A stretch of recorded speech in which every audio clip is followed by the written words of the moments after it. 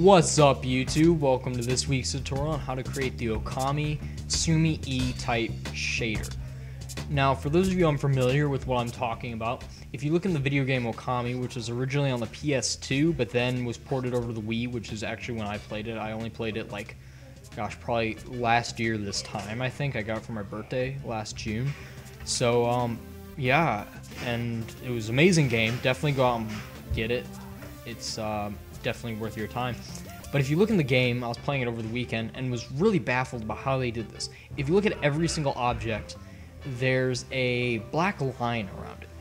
Now, it took me forever to figure out how to do this because no matter, you can't just paint a black line on something like this because no matter which direction you look at it, the black line will always be around the outer perimeter. So I'm like, okay, there's probably some way programming that they did this, or they probably set up some complicated shader in uh, the Cry Technologies, or what engine was this made on? I have to search this up really quick. Sorry, it's driving me crazy. Uh, Wikipedia. It's called like Cry, not Crytek. It's um. Oh, hey, that was actually what I wanted to look up. It was made by see engines engines okay anyways i can't figure out who it's made by. But anyways uh it's cry something cry works um anyways. I didn't you know probably their custom made engine allows them to do this. No. Quit asking me this. Okay sorry about that. But again, I couldn't figure out how to do this, and it was really baffling me. But then I realized the solution was actually very, very, very simple. So first thing I'm going to do is just search rock texture. Um, same engine, or I'm using Bing, but the same results come up on Google. Um, I'm going to use this rock texture, which um, looks pretty good. Looks like we can manipulate it into a Okami type texture. So as you can see, I already saved it here. Um, this will be in the project files. That will be in the link. So you'll be able to download that. But what I'm going to do is I'm going to open up Photoshop. Now you could probably do this in GIMP, but I really hate GIMP because it takes an hour to open, even on my computer. Um, probably if you had an SSD, it wouldn't have any problems, but I do, so I don't use GIMP. I actually use Photoshop, which is better um, despite what people say. I'm all for free programs, but Photoshop is actually better. Wait, I already brought that in. What am I doing? Um, anyways. But, so we're going to apply some filters. So just go to Filter Gallery, and the first thing, first filter is going to be Sumi E, which is literally the type of shader we're going. It's the Sumi E art style. So you're just going to drop everything down to zero because that's what we really want. You know, you can turn stroke width up if you want to. You can stroke pressure. You can mess with this depending on what you're doing. Um, actually, I'm to bring up contrast just a little bit like that. Uh, it's like one or two. But I'm to hit OK. And I'm to go filter, filter gallery again. And then I'm going to go to artistic, smudge stick. Now, what I'm to do is I'm going to mess with this a little bit drag the intensity a little bit down to about there, and that's good. So there's our texture. Um, just save this to your desktop or wherever you want. Uh, I'm gonna do Okami text and save quality up all the way, although I don't need it. Um, I'm just gonna exit this out. Now I'm gonna open up Blender. This will work with any object. Um, if you wanted to create a rock, all you'd have to do is subdivide and then go whoops, I didn't want to do that.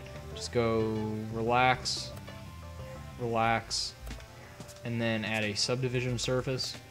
This is what I did testing it and smooth it, but I'm going to do an object that's a little more complicated um, because you'll need to learn how to do it more complicated. I'm just going to add the default monkey, Suzanne, and I'm not even going to do a subdivision surface because in Okami everything's very jagged and you want it jagged because of the it adds the effect.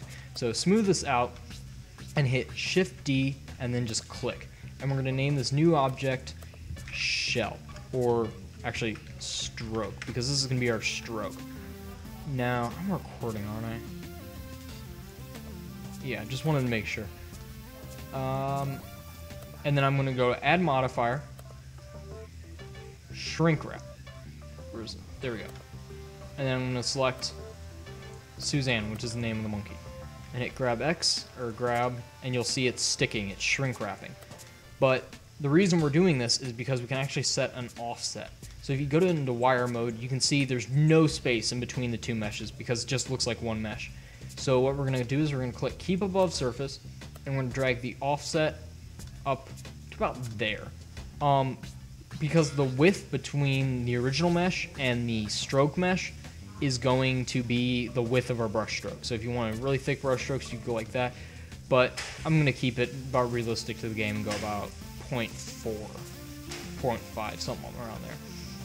But, um, so you get this really kind of distorted um, monkey here that looks really ugly, but we're really not going to be seeing this. So we're, what we're going to do is we're actually going to invert the surface normals.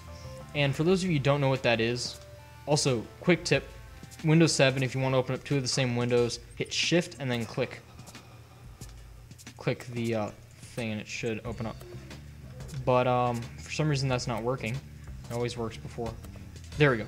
Yeah, Shift click the Blender logo and it'll open up a new one. But I'm going to show you what surface normals are first. So first off, you have to go to Blender Render. It doesn't work with the thing. I'm just going to rotate this 90 degrees. But if you look at a plane, if you look at a flat plane in texture mode, Alt Z, you can see it's only viewable from one direction. Girl, you know you're beautiful. No. Anyways, but uh, yeah, so you can only see it because the surface normals, if we were to hit tab, or yeah, tab and then N and go down to display normals and then go to face normals uh, and then turn, turn up the size a little bit, you can see that if we were to like extrude this and grab Z, grab Y, the surface normal is pointing outwards away from the face. So that's the direction of the normals. And right now, if we go back to our project that we're working on, all the surface normals, if I were to view this in edit mode and then go N normals, you can see all the surface normals are pointing out. We don't want that actually. We want them to be pointing in. So with everything selected, just tap A and select everything. Hit recalculate to make sure they're all facing the same direction, and then hit flip direction. And now they're all pointing inwards. At least they should be. Recalculate, flip direction. I was doing that once again to make sure. And now if you look in texture mode, that looks very strange. Well, first off, we're in cycles render, so we have to be in Blender. So we get this kind of weird effect. Um, you don't want that. You definitely don't want that. Uh, so what I'm going to do is I'm actually going to delete this light, and you can't see anything. So we're actually going to select, select our original object, not the shell, because we have to texture Susanna Monkey. So uh, go into edit mode, open your texture image. Now, I'm going to do a full in-depth tutorial on texturing, uh, unwrapping. This isn't going to be anything really special. This, I'm just going to do the default U, Smart UV Project, okay. And then if you go into texture mode, you can see we have a pretty accurate Okami type texture. And you can see we kind of have a funny thing going on with this white mesh. Now, it looks very close to the brush stroke, but we have a few more things left to do. First, we're just going to name this, create a new material, name it brush. Now, if you're doing this in a game, obviously you're not going to add a new material, or actually, yeah, probably add a new material. Just black, uh, make it shadeless, just in case you did have a light or two. And now this will only work in the Blender game engine or real-time viewport. This will, or maybe even in Unity or something like that. But it will not work at all, ever, in the Blender render. Because if we were just render this, you're gonna see Blender renders doesn't the normal face normals don't affect the value at all. It only affects the real-time view. But um, as you can see, we have the effect pretty much down, and it's exactly how it is in the game, almost. Except one last feature, and it's very minor, but it adds that little polish to it. And what that is, is a displace modifier. Now, as you can see, this is horrible and ugly. So hit 1, or actually 0, because we don't want to view that right now. and we're gonna just do text because text is on the material already. Um, you could obviously create a new one. And now select text here over in the texture panel, and we're gonna change this to clouds. And you can leave that default, really doesn't matter. But now we are going to change the strength up. And now, as you can see, as we do this, we're kind of distorting a little bit. You don't want it up at all. You barely want it up a little bit just to warp the mesh a little bit. And you can even change the mid-level a little bit. Uh, but now remember, it doesn't matter if you clip. Um, if you clip the mesh, probably won't even realize it. But if you look,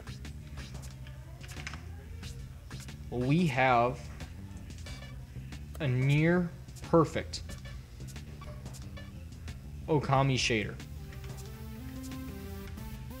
Not really a shader, I kind of let it false onto the, um, I kind of lied to you with the shader thing because, again, this isn't a shader, it's just a texturing trick, but I didn't know how else to word it in the title, so actually I might not, I'm, second thought, I'm probably not going to uh, include the word shader in the title. But as you can see, if you just were to export this to UD, it would work, or uh, UDK, it would work. And this is, I did this on, see, what day is it?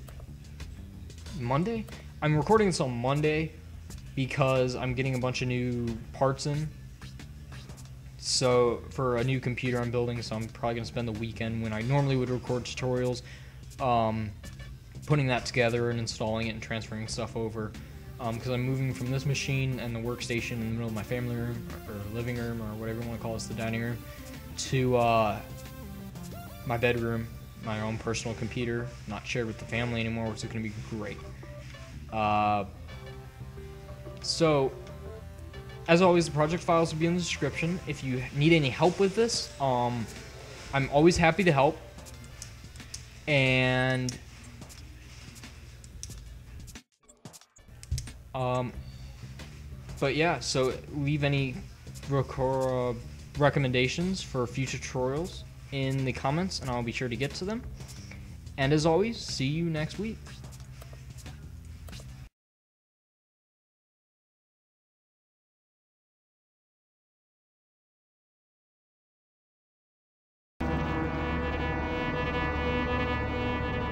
Bring